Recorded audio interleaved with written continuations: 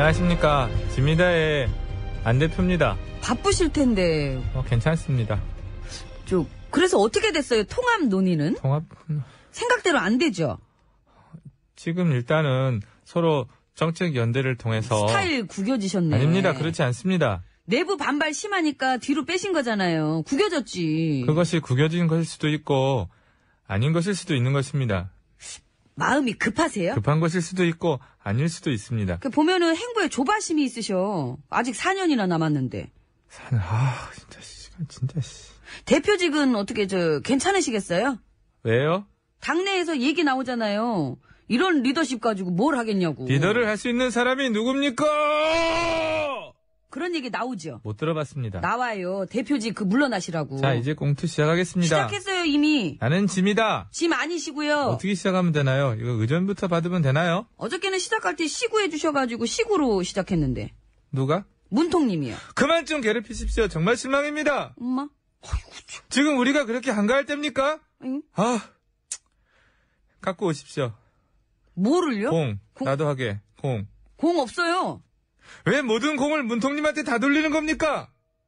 제가 며칠 전에도 직접 말씀드렸지만 현재 우리 궁궐의 무능함에 대해서 많은 분들이 걱정하고 계십니다. 전에는 이게 나라냐 그렇게 외쳤던 국민들이 지금은 이게 정부냐 하고 외치고 있지 않습니까? 어디서요? 밖 밖에서 밖에서 못 들어봤는데. 그러니까 귀를 좀 기울이세요. 많이들 그렇게 외치고 계십니다. 누가요? 일단 우리 고모부 아, 저 조카 당수걸은 또 깨병이 깨병인 누구예요? 내 부항 친구 아, 부항. 응, 부항 쓸때 같이 가는 친구, 부항 친구, 아주 오래된 부항 친구. 예, 많이 뜨시고요. 예, 그 예. 밖에도 많습니다. 환청일 수도 있어요. 그렇게 외치는 거를 저는 이렇게 못 들어봐가지고 그 많다면 그거는 환청인 것 같은데. 아닙니다. 예. 그렇지 않습니다. 얼마 전 신고리 원전 문제도 그렇지 않습니까?